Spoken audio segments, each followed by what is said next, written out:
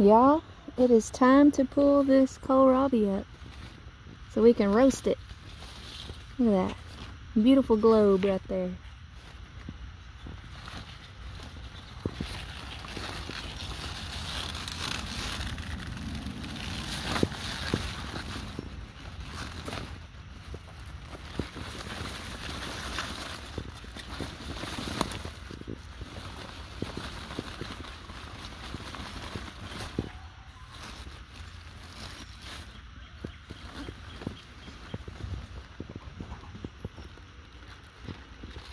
These leaves are edible too. You can cook them up just like mustard greens. I think I'm gonna roast this. Roast it. That's pretty good, like, I don't know, bigger, maybe about softball size. It's pretty good.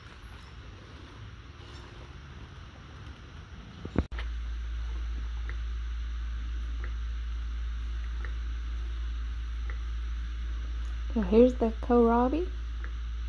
I am just going to take this potato peeler and peel all the skin off of it. We've got it washed off and peeled, all the skin. I'm just going to cut it up into like little bite-sized cubes now.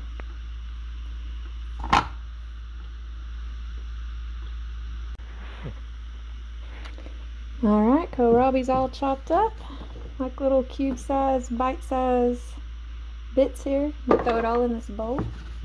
And I will put a couple tablespoons of olive oil and some salt. That way it'll stick to it.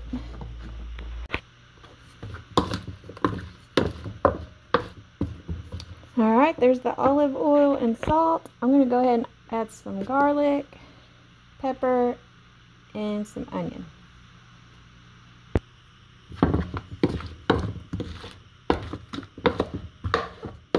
Alright, I got all those seasoning mixed up. I'm going to pour all this onto my cookie sheet in a single layer. Uh, set your oven to 450 and bake for about 30 minutes. Alright, so I just pulled them out. They're nice and roasted and toasted. I'm going to sprinkle some Parmesan cheese plate them and eat them. Alright, so they are done. I got them on a plate, and now I've got a taste tester here. Let's see if they're any good. Pretty picky, so.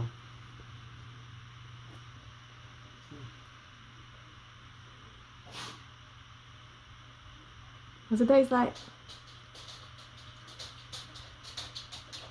They going in for second, y'all. Pretty good. It's good. It's like um, it's kind of like those.